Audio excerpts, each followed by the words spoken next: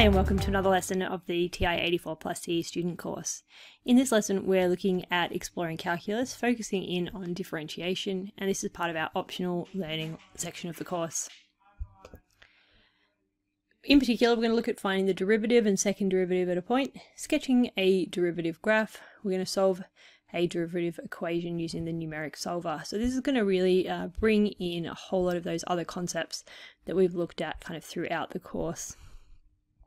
The example we're going to focus in on um, is we've got a velocity equation of a particle um, and it's mapped by the equation 3t squared minus 14t plus 10 and we're going to find the initial acceleration of the particle and at what time um, was the acceleration of that particle equal to 1.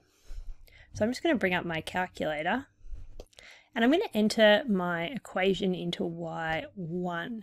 So 3. Now, um, in our um, situation, our variable is time, um, but we can just interchange that with our x variable that we graph with. So 3x squared minus 14x plus 10.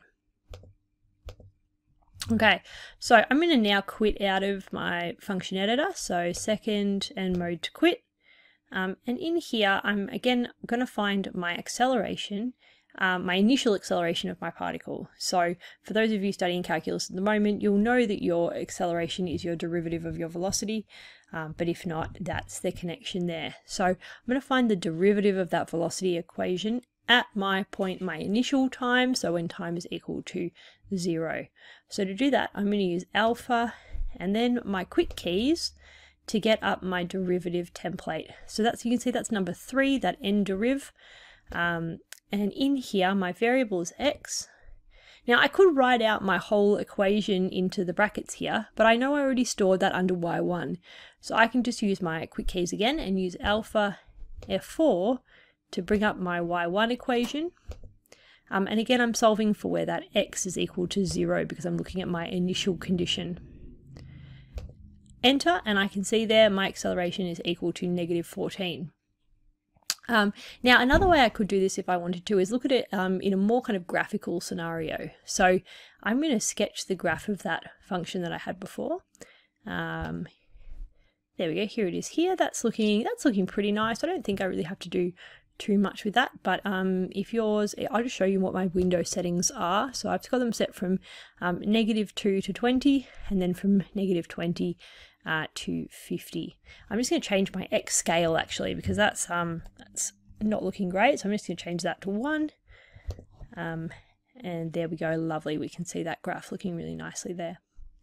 Um, so to find my derivative at a point on the graph, I'm going to use my calc menu. So second and trace to bring that up.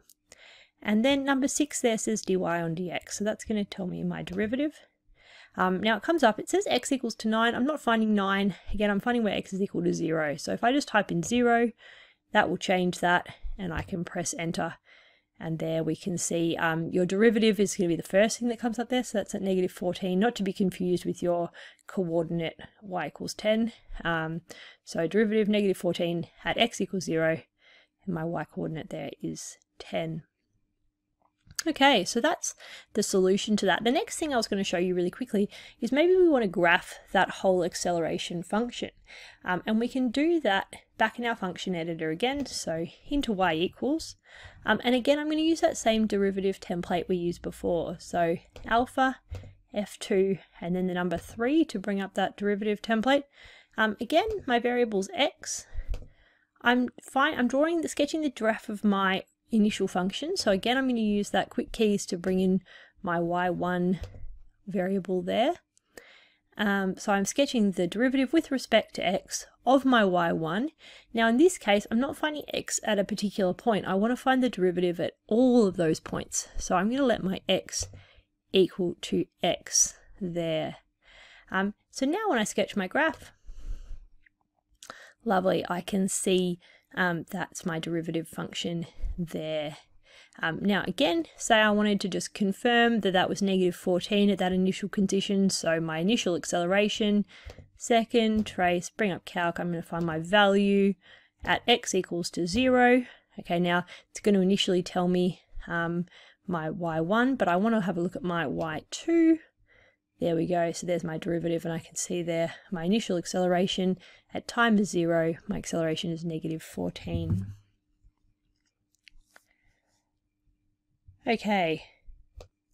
So the second part of my question asked to solve for um, my time when my acceleration is equal to 1. So now I'm solving an equation for my variable.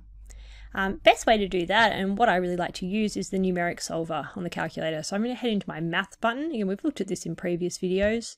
Um, and I'm going to go up. Remember, the numeric solver is right at the bottom. So if I use my up key, that takes me straight to the very last thing in the menu. Um, and I'm going to press enter on there.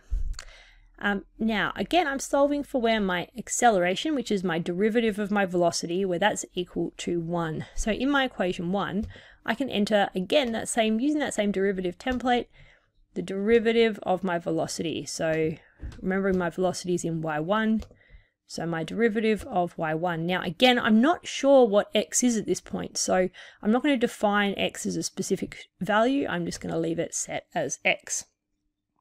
My equation 2 that's what I'm solving for. So I'm solving for where x is equal to 1. So that's just going to be 1 there. Okay, so I'm pressing my graph button. Um, and then I can see there derivative equal to 1. That equation looks good to me. And I'm solving for x and I can see there um, 2.5 is my correct solution for x. Um, now, if I wanted to, do, I could just double check this again using that same um, graph and the derivative graph that I sketched earlier. So I'll just let that come up there. Okay, so again, now if I use that same value function, so second calc, bring out my value, um, I'm solving for, um, I think my acceleration at 2.5 should be 1. So if I type in 2.5, um, I can see there my velocity at 2.5 is equal to negative 6.25. Um, if I just use the up or down keys, that'll take me through to my acceleration graph. And there we go, 2.5, my acceleration is equal to 1, so that's perfect there. Okay, well that's it from me for today, so um, have a great day and I'll see you next time.